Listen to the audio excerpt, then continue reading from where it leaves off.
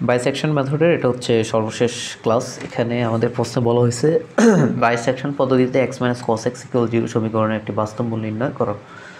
তো আমরা বইটা দেখি, বইয়ে যদি আমাদের, আমরা যে প্রসেস অঙ্কগুলো করে আসতেছি, সেই প্রসেস যদি থাকে, তাহলে সেটাই দেখানো হবে। সেটা হচ্ছে আমাদের অঙ্ক নাম্বার কত? এটা হচ্ছে twenty three okay so twenty three আসছে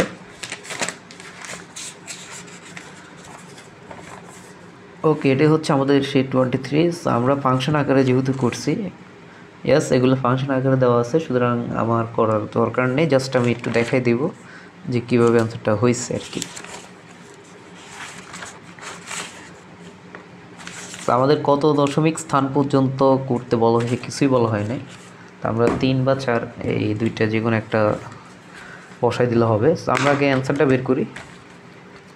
অ্যান্সারটা এটা অবশ্যই রেডিয়েন্ট মোডে নিতে হবে কস এক্স আগেরগুলো না নিলে হবে বাট এটা অবশ্যই নিতে হবে যেহেতু এখানে কস আছে। তো রেডিয়েন্ট মোডে নিব আমরা এখন x minus cos x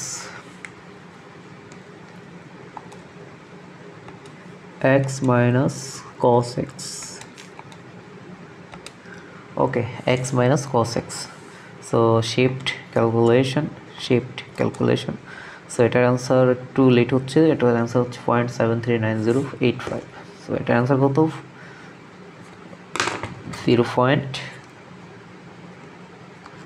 seven three nine zero eight so মোটামুটি এতটুকু মিলে দিলে হবে zero point seven three nine পর্যন্ত। ওকে সো এটা হচ্ছে আমাদের অ্যান্সার সো এরপর আগের নিয়ম।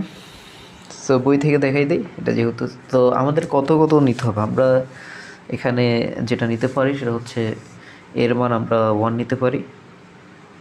না, এর মান আমরা জিরো নিতে পারি, আর বির মান আমরা কত নেব? ওয়ান কারণ জিরো এবং ওয়ানের মিডলে এই মানটি আছে। সো আরও কাছাকাছি যদি আমরা মান নিই, তাহলে আরও তাড়াতাড়ি হয়। আমরা এটা নিতে পারি জিরো পয়েন্ট ফাইভ আর বির মান ওয়ান নিতে পারি। কারণ জিরো পয়েন্ট ফাইভ এবং ওয়ানের মাঝামাঝি অবস্থানে জিরো পয়েন্ট সেভেন থ্রি আছে। তো বই এটাই নিচ্ছে আর কি। আমরা খেয়াল করি এখানে এর মান তারা পয়েন্ট ফাইভ নিচ্ছে বির মান ওয়ান নিয়েছে। তো এখানে এফ অফ এ ফাংশনটা বসাই দিলে এটা হয়। সো এটা কীভাবে হয়? আমরা যদি এক্সের স্থলে স্থানে জিরো পয়েন্ট ফাইভ বসাই ক্যালকুলেশন এক্সের মান হচ্ছে জিরো পয়েন্ট ফাইভ বসাই ইকুয়াল যদি দেই তাহলে minus three point seven double seven six আসে। আর বি স্থলে যদি ওয়ান বসাই এক্সের স্থলে ক্যালকুলেশন এক্সের জায়গায় ওয়ান বসালে আমরা যেটা পাচ্ছি পয়েন্ট ফোর ফাইভ এই যে zero point four five nine seven কীভাবে হয়? ক্যালকুলেশনগুলো এগুলো একটু দেখে আর কি। তো যেহেতু এফ এ এবং এফ বি শূন্য থেকে ছোট, সুতরাং এ এবং বির মধ্যে কমপক্ষে একটি মূল বিদ্যমান। আগের কথাগুলো বাইসেকশন পদ্ধতি অনুসারে ফর্মুলা সো এগুলো করার জন্য বলছিলাম এটা আবার একটু লিখতে হবে। আমাদের প্রথমে আমরা যেটা সো আমরা আবারও এই যেটা আছে, প্রথমে সূত্র লিখব x equal A plus B by two এটা। X equal first bracket x equal A plus B bracket close back to search date তারপর আমাদের এটা লিখতে হবে x minus cos x minus cos x so এবার আমরা ক্যালকুলেশন করব।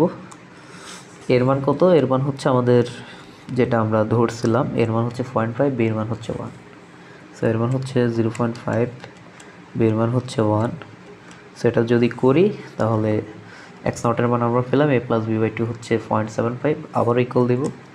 So zero point zero one eight three so এই মানটা তো এখানে একটু কাজ করে দেবো, এখানে আমরা এটা লিখে দেবো। এই মানটা হচ্ছে জিরো থেকে কি? বড়। তো পজিটিভ মান পাচ্ছি। So F of x naught যেহেতু পজিটিভ পেলাম মানে প্লাসের পেলাম, আমাদের কাছাকাছি দেখতে হবে মাইনাস কোথায় আছে, কোন ফাংশনে মাইনাস আছে।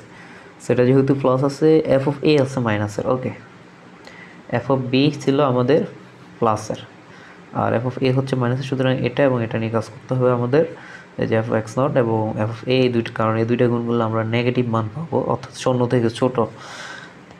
তো দ্বিতীয় আসন্ন মান এক্স ওয়ান হয়ে যে x naught plus A by two এগুলো দেখাতে হবে কি না?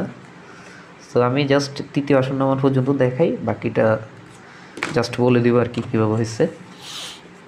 সো দ্বিতীয় আসন্ন মানের ক্ষেত্রে। সো এখন এ বলতে এক্স নট ওকে আর বি বলতে এ অর্থাৎ এক্স নটের যে মানটা সেটা আমরা এর মধ্যে বসাবো। ক্যালকুলেশনে যাচ্ছি। এর মান কত? এক্স নট আর এক্স নটের মান আমরা কত পেয়েছি? পয়েন্ট সেভেন ফাইভ তো সেটা বসাবো।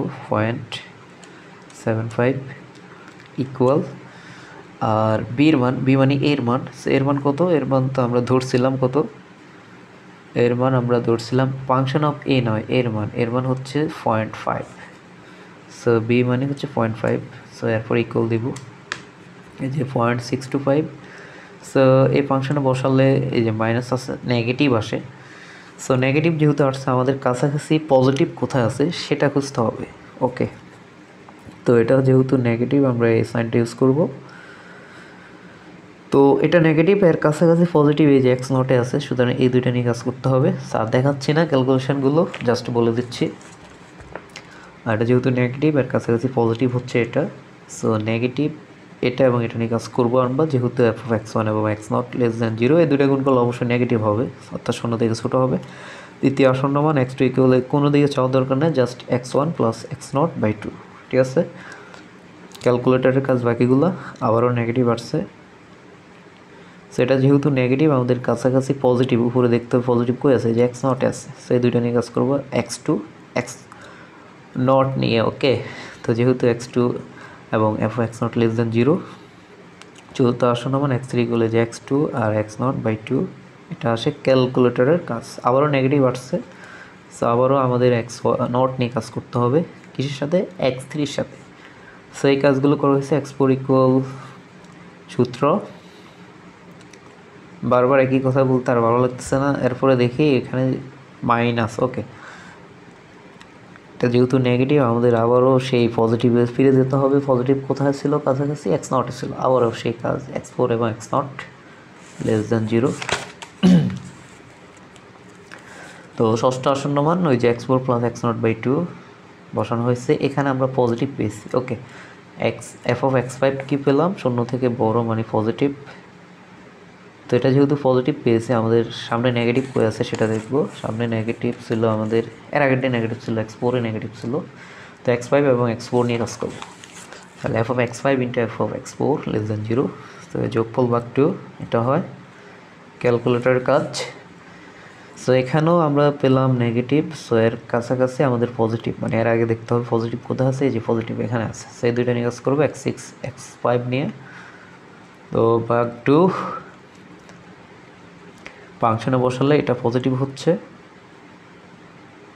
শূন্য থেকে কি হচ্ছে? বড় হচ্ছে। তো এটা যেহেতু পজিটিভ আমাদের নেগেটিভ দেখতে হবে, এর আগে আছে। সো এক্স সেভেন এবং এক্স সিক্স নিয়ে কাজ করব। তো x seven plus x six by two এটা হয়। সো আমাদের এই তিন দশমিক স্থান পর্যন্ত মিলাতে পারলে হয়। তো সেভেন ফোর এখানে হচ্ছে সেভেন থ্রি মানে সেভেন ফোর প্রায় দুই দশমিক স্থান পর্যন্ত আমাদের মিলে গেছে। তো আমরা আরেকটু কাজ করব। ফাংশনে বসালে আমরা পজিটিভ মান পাচ্ছি, তাহলে এটার সাথে আমাদের ওই যে এটা হ্যাঁ? অর্থাৎ এক্স এইটের সাথে আমাদের এক্স সিক্স কাজ করতে হবে x eight x six less than zero x eight plus x six by two okay ফাংশনে বসানো হয়েছে। তো x nine okay x nine পেলাম। এখানে এক্স নাইনের সাথে যেহেতু নেগেটিভ এর আগে পজিটিভ কোথায় আছে? এক্স এইটে আছে, কাছাকাছি। সেটা দশম আসন্ন মান হয়েছে এটা।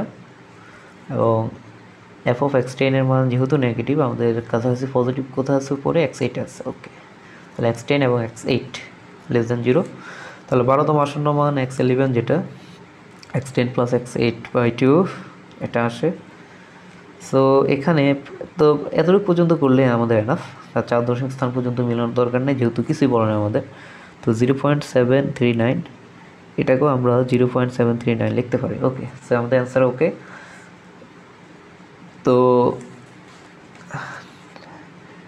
চার দশমিক স্থান পর্যন্ত মিলাতে গেলে আরেক, আরেকটা বার করলে হয়ে যায়। তো এখানে তেরোতম আসন্ন মান এক্স টুয়েলভ ইকুয়াল তো এখানে যে মানটা পেলাম এটা ছিল পজিটিভ সো এর আগে ছিল নেগেটিভ সুতরাং এই দুটা নিয়ে কাজ করব এক্স ইলেভেন এবং এক্স টেন নিয়ে। So x eleven x ten less than zero তাহলে এক্স টুয়েলভ মানে বারো, তেরোতম আসন্ন মান x twelve x eleven plus x ten by two so এই মানটা পাচ্ছি। সো এটা মিলে গেছে point seven three nine one point seven three nine one তাহলে নির্ণয় আসন্ন মূল point seven three nine one point seven three nine one আমাদের যে মানটা পেয়েছিলাম, সেটা ছিল পয়েন্ট সেভেন থ্রি নাইন আর জিরোকে ওয়ান লেখা যায়, যেহেতু এদিকে পাঁচ বা পাঁচের বেশি আছে, আমরা এক যোগ করে দিই আর কি জিরো প্লাস ওয়ান মানে ওয়ান সেটা চার দশমিক স্থান পর্যন্ত আমরা অ্যান্সার বের করে ফেলেছি। তো এই ছিল শর্টকাট আলোচনা। আশা করি ক্যালকুলেটরের সাহায্যে আপনারা খুব সহজে এগুলো অ্যান্সার বের করতে পারবেন। অন্ততপক্ষে বাই সেকশন মেথডে কারও সমস্যা থাকার কথা নয়। তো সবাই ভালো থাকবেন। আর ক্লাসগুলো ভালো লাগলে আপনার বন্ধু বান্ধব যারা আছে, তাদের সাথে শেয়ার করতে পারেন আর কি। তো সবাই ভালো থাকবেন, আল্লাহ হাফেজ।